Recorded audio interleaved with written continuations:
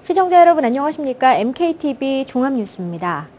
뉴저지 38 선거구에 포함됐던 한인 밀집 지역인 포트리가 팰리세이즈 팍과 레오니아 또 테나플라이 등이 있는 제37 선거구로 통합되면서 한인 정치인 배출의 가능성이 한층 높아졌습니다. 주혜진 인턴 기자가 보도합니다. 뉴저지 38선거구에 포함돼 있었던 한인 밀집 지역인 포트리가 팰리세이즈 팍과 레오니아, 테너플라이 등이 있는 제37선거구로 통합됐습니다. 이는 주의회 산하 뉴저지주 선거구 재조정위원회의 최종 투표에서 민주당이 제출한 주상하의원 선거구 재조정안이 찬성 6표, 반대 5표로 전격 통과돼 결정된 사안입니다.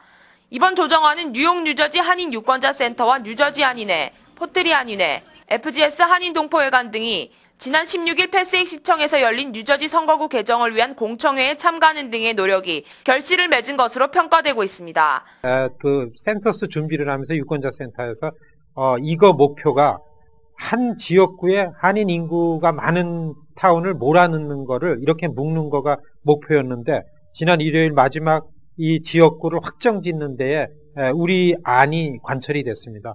이번 조정안에 따르면 38선거구에 포함됐던 포트리가 펠리세이즈 팍과 레오니아, 테너플라이 등이 있는 37선거구로 편입되고 39선거구의 알파인, 크레스킬, 노스베일 등이 37선거구로 이동했습니다. 선거구 재조정을 통해 한인 정치인 배출의 확률이 높아진 만큼 선거에 보다 많은 한인들의 선거 참여가 한인 정치인 배출의 관건입니다.